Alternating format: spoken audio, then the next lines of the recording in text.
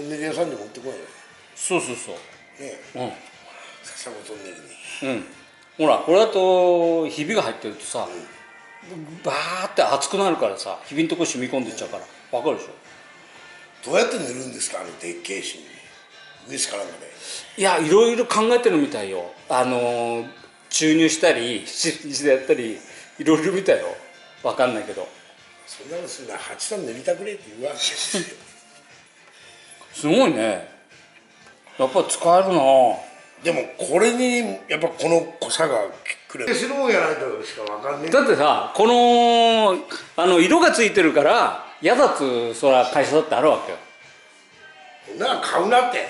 だけどここの白に塗った通りで、この色って分かるやつって少ないよ。そうかな。いやいやそれは分かるだって社長これ塗ってんだよこのブルーの、このところに。これ色分かった？わかる。色はわかる。うっすら青白いのが。ああそらね。それはやっぱり目がいいからでしょ？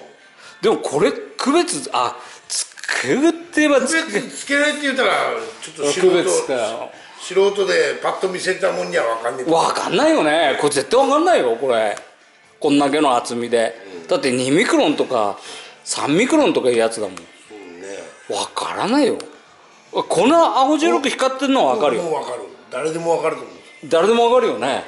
そうか誰でもこんなくらいあれか。強力に入れ入れればいいんですよ。分かんないと効果はあれか実感できねえっつパターンだね。そうだから参っどこどどこに塗りムラがあるかっていうのがわかんねえでしょ。そうだよね。だから俺ランバーテン使う時は白くなるでしょ。うん。だからいつも横からそう透かしてそう。そうそうみて。光沢のね、うん。度合いのね。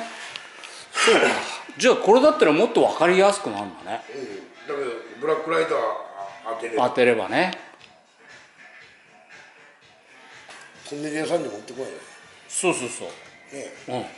笹子トンネルにうん。ほらこれだとひびが入ってるとさ、バーって熱くなるからさひびんとこ染み込んでっちゃうから。わかるでしょ？どうやって塗るんですか？あのでっけえ芯に。上からまで。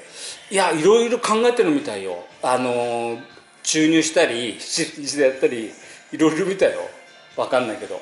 そんなのするな八さん塗りたくれって言うわけ。ですよすごいね。やっぱ使えるな。でもこれにやっぱこの濃さが